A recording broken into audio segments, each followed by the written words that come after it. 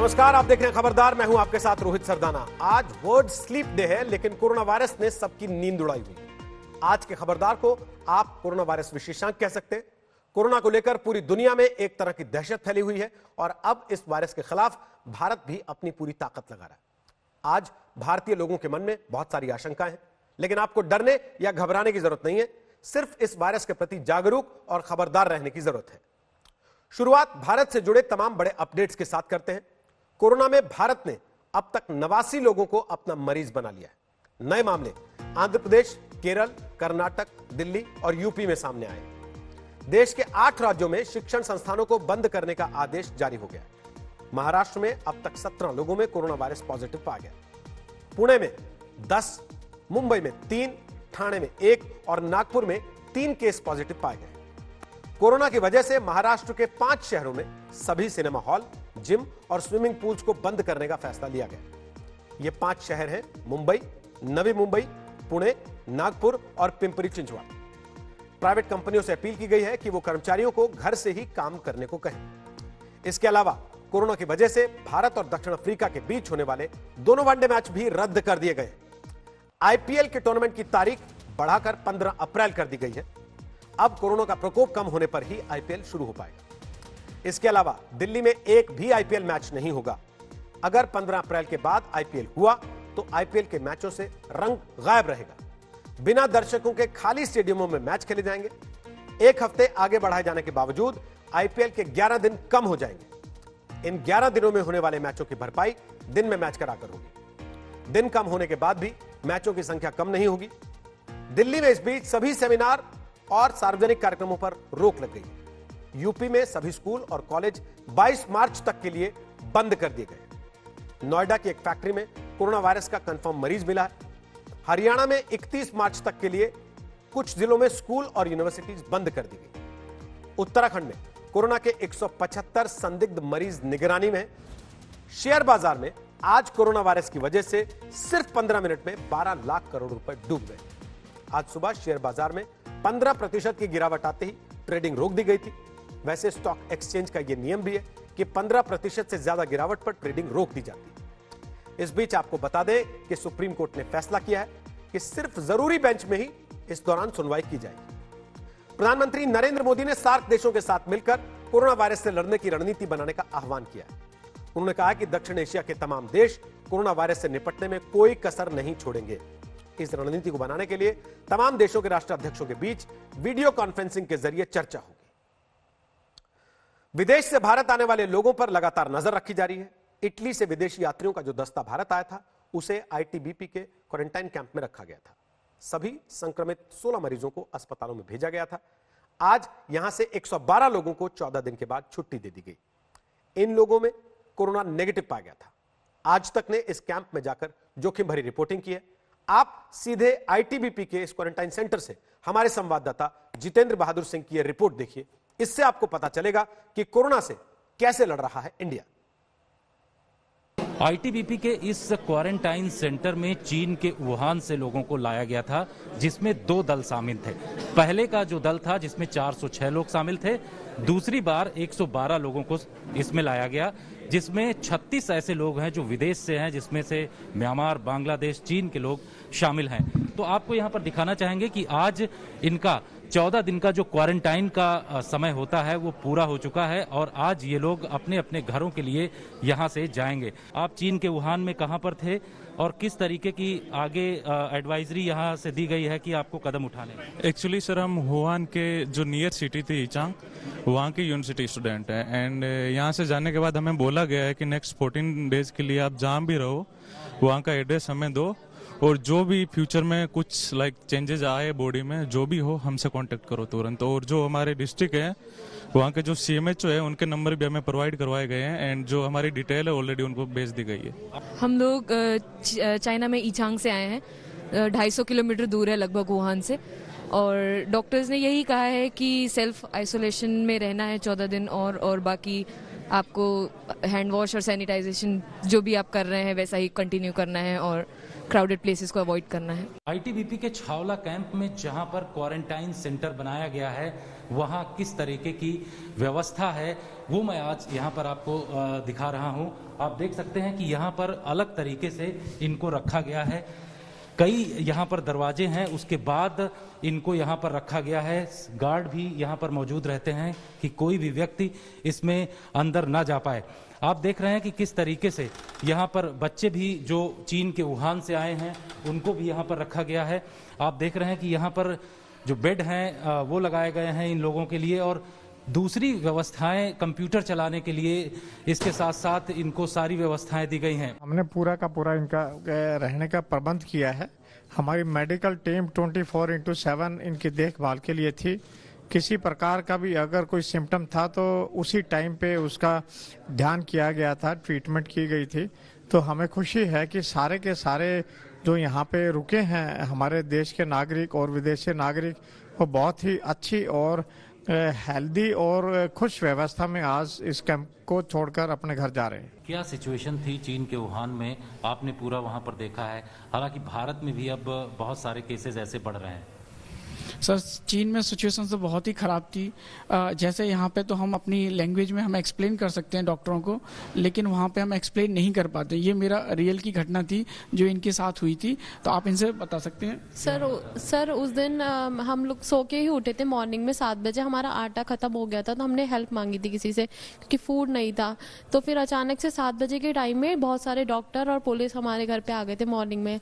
तो वो अचानक से फिर हमारा टेम्परेचर चेक करने लगे। मैं एसी मतलब सो के उठी थी तो एसी के सामने बैठे थे जस्ट तो मेरा टेम्परेचर बहुत मतलब शायद उस टाइम ज़्यादा था, उन्होंने दो तीन बार चेक किया, फिर उसके बाद हमें छोड़ दिया। लेकिन अगर वहाँ पे चाइना में उस टाइम पे ये हो रहा था कि अगर किसी का टेम्परेचर ज़्यादा है तो उसे ज़बरदस्ती खींच के ले जाते थे घर से। तो वो बहुत डर लग रहा था और बहुत रोई थी मैं उस दिन।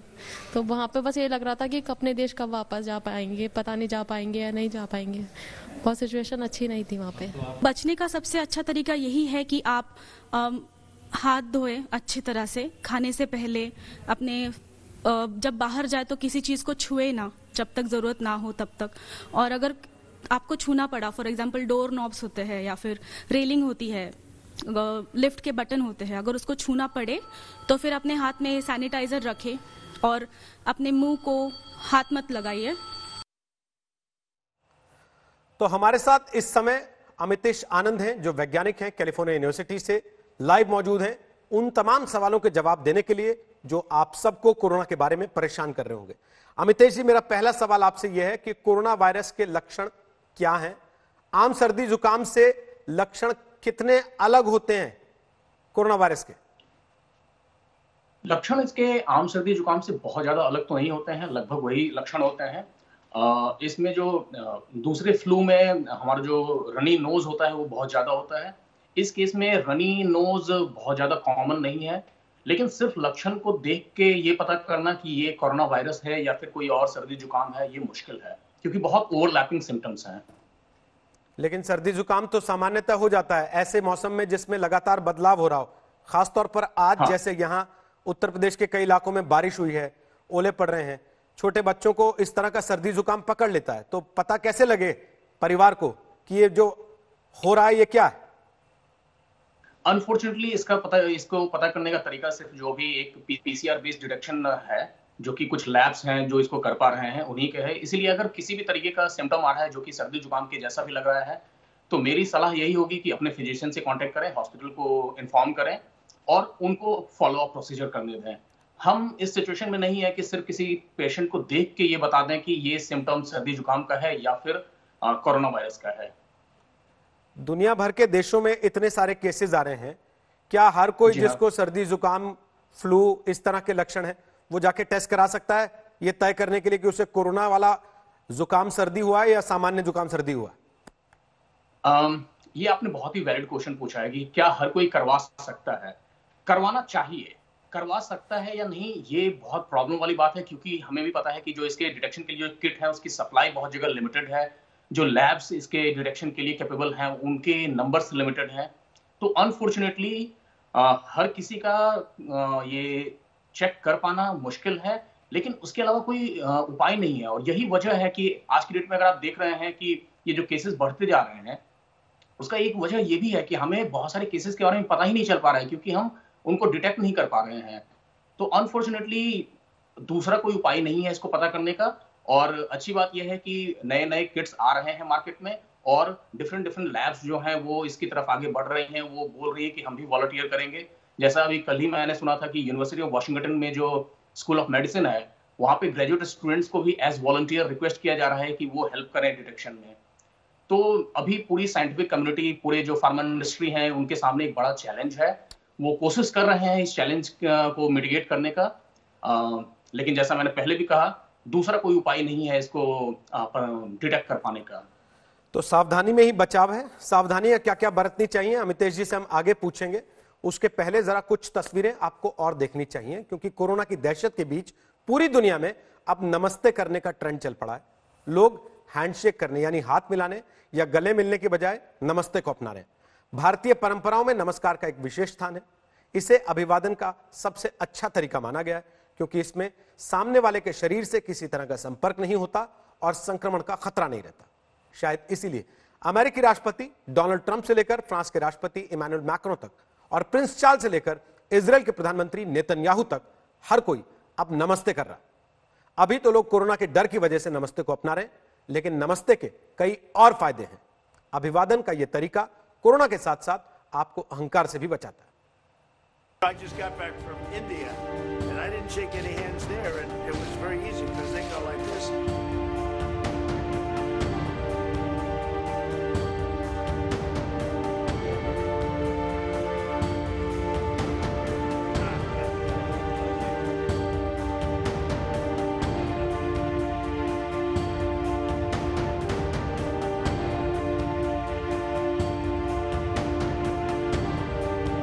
पूरी दुनिया आजकल नमस्ते की आदत डाल रही है। कोरोना वायरस के डर ने नमस्ते को ग्लोबल स्वीकारिता दिलवा दी है। कोरोना वायरस से लड़ने के लिए पूरी दुनिया अपनी आदतें बदल रही है। अब दुनिया के बड़े बड़े नेता और सेलिब्रिटी हैंडशेक से कतरा रहे हैं और दूर से नमस्ते करके अभिवादन कर रहे हैं। प्रधानमंत्री नरेंद्र मोदी ने जन औषधि दिवस पर देशवासियों से अनुरोध किया था कि पीछे लौट जाइए, कोरोना वायरस को भगाना है तो हाथ मत मिलाइए, नमस्ते को अपनाइए। पूरी दुनिया आजकल नमस्ते की आदत डाल रही है। अगर किसी कारण से हमने ये आदत छोड़ दी है तो हम भी हाथ मिलाने के बजाय इस आदत को फिर से डालने का भी मैं समझता ये उत्तम समय है। नमस्ते करके ही एक दूसरे को ग्रीट करना चाहिए। लगता है पीएम की ये अपील पूरी दुनिया के नेताओं ने सुन ली है और दोनों हाथ जोड़कर नमस्ते को अपना लिया है। आज सोशल मीडिया पर अचानक नमस्ते ट्रेंड करने लगा, जब अमेरिकी राष्ट्रपति डोनाल्ड ट्रंप ने वॉशिंगटन आए, आयरलैंड के प्रधानमंत्री से न तो हाथ मिलाया, न ही गले मिले, बल्कि उन्हें बड़े ही आदर से नमस्ते किया। Well, we didn't shake hands today, and uh, we looked at each other and we said, "What are we going to do?" You know, it's sort of a weird feeling. I think we went And we through said that, at the same time we did this. You know, I just got back from India, and I didn't shake any hands there, and it was very easy because they go like this, and Japan goes like this. Uh, they were ahead of the curve. Okay. सिर्फ Trump ही नहीं नमस्ते वाली ये feeling दुनिया के तमाम नेताओं और सेलिब्रिटीज के मन में घर कर चुकी है इससे पहले कल लंदन में प्रिंस चार्ल्स भी नमस्ते करते हुए दिखाई दिए थे। ब्रिटिश राजघराने के पुराने चिराग, प्रिंस चार्ल्स का ये कोरोना प्रूफ अंदाज सोशल मीडिया पर सबको भाया। फ्रांस के राष्ट्रपति इमैनुअल मैक्रो ने भी स्पेन के राजा और रानी से मिलने पर हाथ नहीं मिलाए, सिर्फ़ नमस्ते किया। यहाँ नोट करने वाली बात यह भी है कि यूरोप में स्वास्थ्य संबंधी संस्थाओं ने लोगों को हाथ न मिलाने और गले न मिलने की सलाह दी है। इस बीच फ्रांस के संस्कृति मंत्री में भी कोरोना वायरस पॉजिटिव पाया गया है इसराइल में लोगों के बीच नमस्ते का चलन बढ़ा है कोरोना वायरस के प्रकोप से बचने के लिए इसराइल के प्रधानमंत्री बेंजामिन नेतन्याहू ने भी कुछ दिन पहले प्रेस कॉन्फ्रेंस करके भारत के पारंपरिक अभिवादन, यानी नमस्ते को अपनाने की सलाह दी थी और कहा था कि एक दूसरे से हाथ ना मिलाएँ। यूनिसेफ की ब्रांड एम्बेसडर प्रियंका चोपड़ा और सलमान खान ने भी कोरोना वायरस के बढ़ते प्रकोप को देखते हुए नमस्ते करने की अपील की है। पूरी दुनिया में नमस्ते की मार्केटिंग हो रही है तो इसके पीछे कई कारण हैं। भारतीय परंपरा में नमस्ते का बड़ा महत्व है। नमस्ते शब्द का अर्थ है, नमस्ते संस्कृत का शब्द है, जिसका साधारण अर्थ है, आपका मान करता हूँ। भारतीय संस्कृति में आदर व्यक्त करने विनम्र बनने और आध्यात्मिक विकास के लिए नमस्ते की परंपरा है। नमस्ते में अपने अहंकार को घटाने का भाव होता है। हमारे देश की परंपराओं में माना जाता है कि इससे मन शुद्ध होता है। हाथ जोड़कर नमस्ते करने वाले व्यक्ति पर जाने अनजाने एक मनोवैज्ञानिक दबाव पड़ता है। हाथ जोड़कर आप आक्रामक और क्रोधित नहीं हो सकते। ऊँची आवाज़ में बात नहीं कर सकते। आपने नोट किया होगा कि हाथ जोड़कर व्यक्ति अपने आप ही थोड़ा शांत हो जाता है। और सबसे बड़ा फ़ायदा यह है कि नमस्ते करते हुए सामने वाले को छूने की ज़रूरत नहीं होती। इसीलिए संक्रमण का खतरा भी नहीं होता। ज़ाहिर है, कोरोना वायरस के संक्रमण के इस दौर में लोग नमस्ते की तरफ़ बढ़ रहे हैं और हैंडशेक से पीछा छुड़ा रहे हैं। नमस्ते के सामने आजकल हैंडशेक की क्या हैसियत है, ये जानने के लिए आज एक बार फिर एंजेला मर्केल का वीडियो आपको गौर से देख लेना चाहिए। जर्मन चांसलर एंजेला मर्केल अपने एक मंत्री से हैंडशेक के लिए हाथ बढ़ाती हैं, लेकिन मंत्री महोदय हाथ मिलाने से इनकार कर देते हैं। सामान्य समय में तो इसे बहुत खराब व्यवहार की श्रेणी में रखा जाता लेकिन कोरोना वायरस की दहशत ने इसे भी एक हल्का फुल्का लम्हा बना दिया। आज तक ब्यूरो। जी लेकिन नमस्ते कर से करके आप लोगों के संपर्क में आने से बच जाएँगे।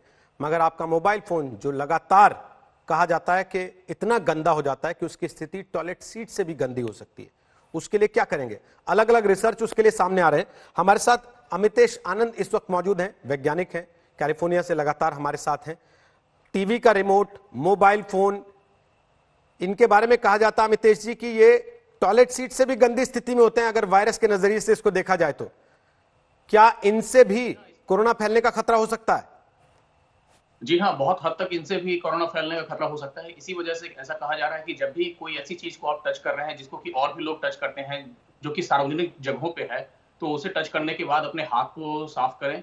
अगर सोप से क्लीन नहीं कर पा रहे हो तो कम से कम सैनिटाइजर यूज़ करें। लेकिन इतने के बावजूद एक अच्छी चीज़ जो निकल के आ रही है, और खास करके कुछ ऐसी कंट्री जैसे यूके में इसकी बहुत बात हो रही है, एक कॉन्सेप्ट है हर्ड इम्यूनिटी तो हर्ड इम्यूनिटी में क्या होता है कि का मतलब होता है ग्रुप या कलेक्शन तो ऐसा उम्मीद किया जा रहा है कि या तो हम पूरे क्षेत्र को लॉकडाउन कर दें केसेस को बाहर ना आने दें जो कि कई जगहों पे मुश्किल हो रहा है। खास करके अगर मैं इंडिया की बात करूँ इंडिया के लिए आज की डेट में major problem number of cases नहीं है। इंडिया के लिए मेजर प्रॉब्लम यह है कि वो जो केसेस हैं वो बहुत स्टेट्स में डिस्ट्रीब्यूटेड हैं। तो फिर लॉकडाउन करना बहुत मुश्किल है। आप कैसे किसी पूरे कंट्री को लॉकडाउन कर दोगे? और ये इटली जैसी एक छोटी कंट्री नहीं है। इंडिया का एरिया बहुत बड़ा है। तो यहाँ पे एक दूसरी चीज़ जो है, जो मैंने अभी बताया हर्ड कम्युनिटी हर्ड इम्यूनिटी तो हर्ड इम्यूनिटी में क्या होता है कि अगर आप, जो ससेप्टेबल पॉपुलेशन है, जो कि एज सिक्सटी प्लस वाला पॉपुलेशन है, अगर आप उनको आइसोलेट कर दें तो जो रेजिस्टेंट पॉपुलेशन है, जो कि इस वायरस के अगेंस्ट जिसके अंदर इम्यून रिस्पॉन्स डेवलप हो सकता है, वो क्या करेगा कि इस वायरस के इन्फेक्शन को कंटेन कर देगा। तो फिर इसका जो इन्फेक्शन है, वो बाहर नहीं जाएगा। तो एक ये भी उम्मीद है कि अगर इसका जो स्प्रेड है बहुत ज़्यादा हो जाता है तो शायद हर्ड इम्यूनिटी हमारे काम आएगा। पिछले कुछ दिनों में चीज़ें बहुत तेज़ी से बदली हैं और लगातार देशों में एक के बाद एक जहाँ कुछ शुरुआती दिनों में चीज़ों को हल्के में लिया गया ये माना गया कि नहीं इससे बहुत ज़्यादा चिंतित होने की ज़रूरत नहीं है। वहाँ देखा गया कि दो से तीन दिन में मामले कई कई गुना बढ़ गए। क्या अब उसमें कुछ कमी आ रही है? कुछ बेहतर संकेत हैं दुनिया के लिए? उसमें कमी आ रही है। अगर आप सिर्फ़ एक चाइना का ही केस देखें तो चाइना एक, आज की डेट में एक एग्जांपल बन गया है जिसने कैसे शुरू में सिचुएशन को इग्नोर किया और बाद में सीरियस हुआ। तो आपने देखा कि जैसे ही वो दिसंबर के महीने में जब वो इग्नोर कर रहा था केसेस को तो इसने एक एपिडेमिक की जगह पूरा पैंडेमिक का रूप ले लिया। लेकिन फिर पॉजिटिव साइड ये है कि जब चाइना सीरियस हुआ, जब इसने पूरा क्वारंटाइन पूरा लॉकडाउन करना शुरू किया तो आज की डेट में देखो, आज का भी, आपका भी रिपोर्ट था कि कल सिर्फ़ आठ नए मामले आए हैं चाइना में जबकि जो कंट्री इसको लेके थोड़ा सा भी ढीला रवैया अपना रही है वहाँ पे इसके केसेस बहुत बढ़ रहे हैं। तो सीरियस सिचुएशन है हमें सीरियस होना है और सीरियस होने का मतलब डरना नहीं है पैनिक करना नहीं है। सीरियस होने का मतलब है कि जितना हो सके हम केयर करेंगे। अब आपको दुनिया भर में कोरोना वायरस से जुड़े कुछ बड़े अपडेट हम देते हैं। पूरी दुनिया में कोरोना के मरीजों की संख्या एक लाख अड़तीस हज़ार एक सौ तिरपन तक पहुँच गई अब तक पाँच हज़ार अस्सी लोगों की मौत की पुष्टि पूरी दुनिया में हो चुकी है, जबकि सत्तर हज़ार से ज़्यादा लोग ठीक भी हुए। चीन में कोरोना का असर अब कुछ कम हुआ है, लेकिन ऑस्ट्रेलिया में कोरोना के मामलों में 24 प्रतिशत की बढ़ोतरी दर्ज की गई। सिंगापुर ने अपने समुद्री बंदरगाहों पर आने वाले जहाजों को किनारे आने से रोकने का फैसला किया है। फ्रांस में सभी स्कूल, कॉलेज, यूनिवर्सिटीज बंद करने का फैसला किया गया और फ्रांस लॉकडाउन की तरफ़ बढ़। बेल्जियम में भी इटली की तरह के लॉकडाउन की घोषणा की है। पूरा इटली इस लॉकडाउन के बाद से वीरान हो गया डेनमार्क और आयरलैंड में भी लॉकडाउन की घोषणा हुई है। यूरोप के कई अन्य देशों में भी लॉकडाउन की स्थिति हो सकती है। ईरान से दिल दहलाने वाली तस्वीरें दुनिया के सामने आई हैं। सैटेलाइट तस्वीरों से खुलासा हुआ है कि बड़ी तादाद में कोरोना से मारे जाने वाले लोगों को दफनाया जा रहा है। ऑस्ट्रेलिया के home minister Peter Dutton corona positive पाए गए हैं। पिछले हफ़्ते ही डटन ने इवांका ट्रंप से भी मुलाकात की थी।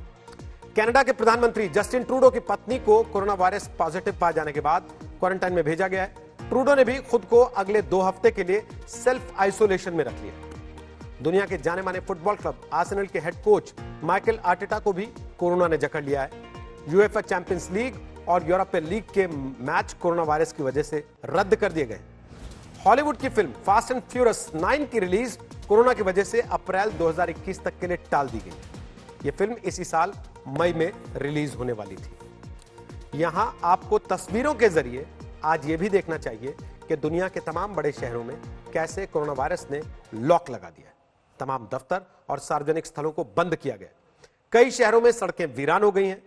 रेलवे स्टेशन और एयरपोर्ट सुनसान है। लोग अपने अपने घरों में बंद हैं और इस मुश्किल वक्त के गुजर जाने का इंतज़ार कर रहे हैं। इकोनॉमिस्ट ने गूगल की मदद से 4 मार्च से लेकर 11 मार्च के बीच दुनिया के अलग अलग शहरों के मेट्रो स्टेशन के आसपास की भीड़ का विश्लेषण किया। और इसमें पता चला कि रोम की सड़कों पर पैदल चलने वालों की संख्या 36 प्रतिशत से भी कम हो गई। टोक्यो में पैदल चलने वाले 24 प्रतिशत कम हुए। सोल में 19 प्रतिशत लोग कम हो गए। पेरिस में 17 प्रतिशत, हांगकांग में 12 प्रतिशत और लंदन में 9 प्रतिशत पैदल चलने वाले कम हो गए। इन शहरों के अलावा बहुत से ऐसे शहर हैं जो पूरी तरह से लॉकडाउन में आ गए। यहाँ इतना समझ लीजिए कि लॉकडाउन सिर्फ़ एक शब्द नहीं है, इसका गहरा अर्थ है। और यह अर्थ तब समझ में आता है जब आप तस्वीरों में दूर दूर तक फैली खामोशी और वीरानी देखते हैं। हम एक एक करके आपको कुछ शहरों की तस्वीरें दिखा रहे हैं, जिनसे आपको पता चलेगा कि शहरों की चहल पहल कैसे कम हो गई सबसे पहले आपको दिखाते हैं अमेरिका का शहर न्यूयॉर्क वो किस तरीके से वीरान हो आपके सामने दो तस्वीरें हैं, पहले की भी और अब की भी। पहले जिन सड़कों पर चहल पहल थी, जिन स्टेशन पर भीड़ भाड़ रहती थी, वहाँ अब आपको केवल सैनिटाइज करने वाले कर्मचारी दिखाई पड़ रहे हैं। इसके अलावा पूरी तरह से वो जगह खाली। इसके बाद इटली के शहर वेनिस को देखिए। पूरे इटली में छह करोड़ लोग इस समय अपने घरों में बंद रहने को मजबूर हैं। इटली के तमाम बड़े शहर ऐसे ही वीरान पड़े हैं, जो कभी रंगीनियों से गुलजार रहते थे फ्रांस का शहर पेरिस, जहाँ बड़ी तादाद में टूरिस्ट हर साल आते हैं। फ़र्क आप दोनों तस्वीरों को देखकर महसूस कर सकते हैं कि पहले वहाँ क्या स्थिति हुआ करती थी और आज के हालात क्या है। अब जरा चीन में शंघाई की तस्वीरें भी आपको दिखाते हैं। जिन सड़कों पर चहल पहल रहा करती थी, वहाँ अब सुनसानियत है। इसके अलावा ईरान के तेहरान में जो फ़र्क आया है, उसे भी आप तस्वीरों में महसूस कर सकते हैं। सड़कों पर केवल आपको सुरक्षा कर्मी दिखाई दे रहे हैं। पहले सड़कें भीड़ भरी रहती थी और अब आप देख सकते हैं हालात क्या हैं।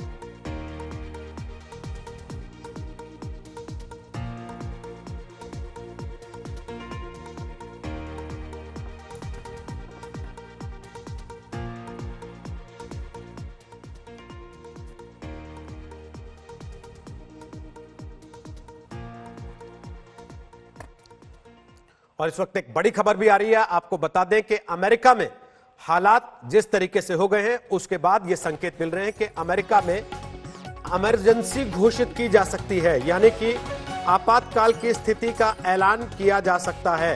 कोरोना की वजह से अमेरिका में जो मौजूदा हालात हुए हैं, उसके बाद वहाँ आपातकाल का ऐलान किया जा सकता है। दो ही दिन पहले अमेरिका ने सख्त कदम उठाते हुए कम से कम 26 देशों से आने वाले यात्रियों पर रोक लगाने का ऐलान किया था। और आज जो खबर आ रही है मौजूदा स्थिति को देखते हुए अमेरिका में ट्रंप प्रशासन इमरजेंसी लगाने के बारे में विचार करने लगा है।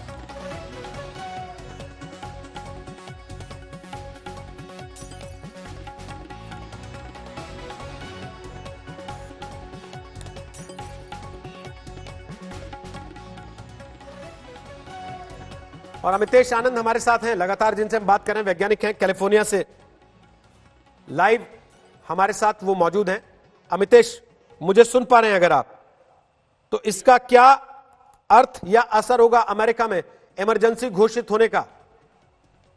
आ, हम लोग काफ़ी समय से ये उम्मीद कर रहे थे कि ये नेशनल हो सकता है क्योंकि यूएस के बहुत सारे स्टेट्स ने ऑलरेडी अपने स्टेट के लेवल पे इसको इमरजेंसी घोषित कर रखा है।